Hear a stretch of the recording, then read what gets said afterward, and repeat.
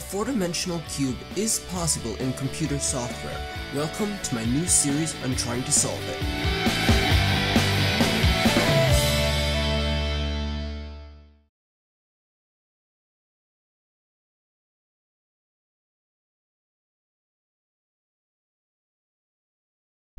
Hey everyone, Andrew here. Today, I'm starting a new series on my channel. If you're watching this, I am assuming that you are a cuber, in which case you know how to solve the 3x3x3 Rubik's Cube.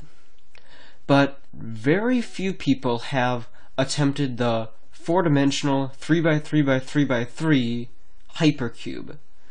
So that's what I'm going to be trying to solve in this new series on my channel, and I believe that this is the first time anyone has done a series like this on YouTube. I'm definitely not sure of that, but I did some searches and I couldn't find anyone that has a series like this. So, I think that's pretty cool. Now this is episode zero. This is just going to be like an introduction video. I'm not actually going to be trying to solve it in this video. I'm just going to be kind of talking about what it is and how it compares to a standard three-dimensional cube.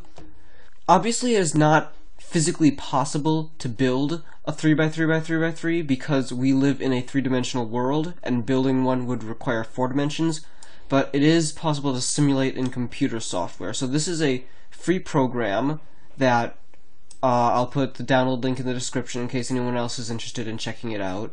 A regular 3x3 has six colors. This has eight colors, so it's more, but it's not astronomically more. Like, a four-dimensional Megaminx has 120 colors, which is completely ridiculous. But this has eight. Well, you're probably thinking you can only see seven. That's because of the way this is, the view, the angle that this is in, it's only possible to see seven colors at a time. So to see the eighth color, you have to do something like this. So this is like the equivalent of a cube rotation. But before we get into the actual moves, I want to just continue to compare this to a three-dimensional cube. So a three-dimensional cube has centers, edges, and corners. This has four types of pieces. So it has like, uh, I don't know if you can see in the, the very middle there of this blue, the very middle, there's a piece, and that is like a core piece. And then there's a center, like here, and then an edge, and a corner. So centers on this puzzle actually have two faces, edges have three faces, and corners have four faces. So the next thing I want to talk about is, um, you can see as I'm moving my cursor around, uh, it's highlighting the uh, cube that my cursor is on and also some other ones. That's because, like, that's the same, uh, it's like the same piece. So this green piece that my cursor's on, and then the light blue and the dark blue piece that are also highlighted, that's all one piece. And actually, in fact, you can't see from that angle, but if I go over here and then highlight it again, you can see the purple piece is also highlighted. So all four of these pieces here, the, the four that are highlighted, are the same piece. Like I was saying, corners have four faces, that's, that's that, corners four faces. So then edges have three faces, so there's this blue one in the middle, then there's the darker blue up above, right here, and then there's this purple one. So all three of those are the same piece. And then for centers, uh, this is going to be harder to see because the angle, but like this piece right here, and then this piece are actually the same piece. Each of these individual cubes here is the equivalent of a sticker. So on a three-dimensional cube, the stickers are two-dimensional, on a four-dimensional cube, the stickers are three-dimensional. And each of these, like, 3 by 3 by 3 groups here of colors is the equivalent of a side. Alright, now I'm going to talk about how this turns. There's three types of moves you can do. You can do face turns, like this. Here's another face turn. And then you can do edge turns, which are like that, like that. Oh, it's kind of lagging. Must be because I'm recording. That could get annoying. But, okay, yeah, so there's edge turns, and then there's also corner turns.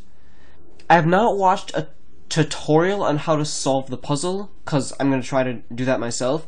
I have watched a tutorial on how to use this software though, and that tutorial said that you only need to bother with face turns.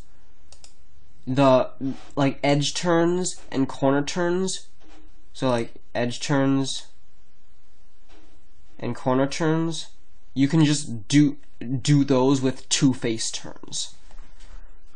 So when I do my solve, I'm only going to be bothering with face turns.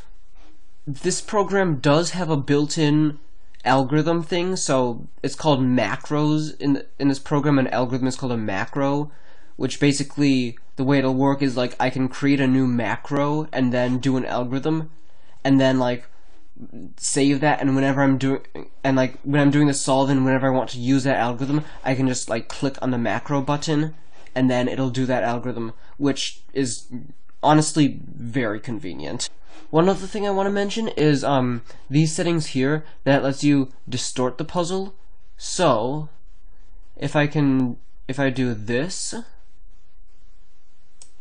and then this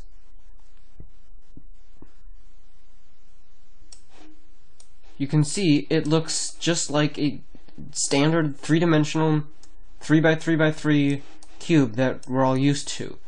And you can do standard cube turns.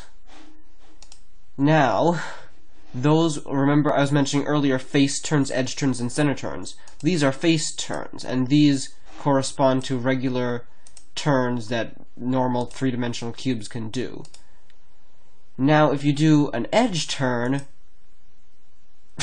if you do an edge turn or a corner turn, those types of moves obviously are not possible on a regular 3x3. so, yeah, so this is just another way of looking at it. I think using this view is going to be helpful for coming up with algorithms. Like, I could try doing some 3x3 algorithms here and then see what happens. But I'm not gonna experiment with that stuff now.